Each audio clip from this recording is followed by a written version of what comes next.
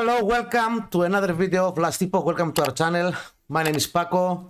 Today I'm gonna do a video about how to find friends, how to add someone as a friend, and uh, how to add him to the party. So, with no further delay, let's just go and fucking play. So, while you are in the game, uh, you're supposed to press the letter H, and this social tab will pop out. This is your party members, this is your friends. To, in order to add someone as a friend, you're supposed to know his tag name uh, in the game. This is me, GameHauntings. I don't mean, I don't mean the character name, which is Dark Leprof, Warlock. I mean the uh, the username, the tag name. How is your tag name above your head? This is me, GameHauntings. So when you know uh, which friend you want to call, for, uh, for instance, I have some friends here. Let's add a friend. I know his tag name. And when you know his tag name, go and paste here and add as a friend. Now he is a friend. See, that's how you can add someone as a friend in last epoch.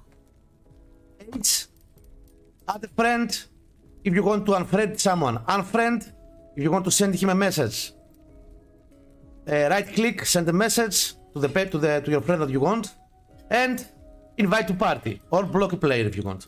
So if I'm gonna invite him to party, now Max accepted me.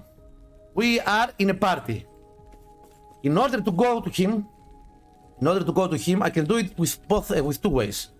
Either I can go here and can make him a party leader if I want, or portal to a player, or in the left top corner of the of my of my screen, there's a symbol here. If I press this symbol, I'm gonna transfer to him immediately. Now I'm gonna travel. I'm gonna transfer where Max is at the moment. Here is Max. You see? Now I'm where Max is. That's how you can add a friend. You can add someone as a friend and that's how you can add someone to your party.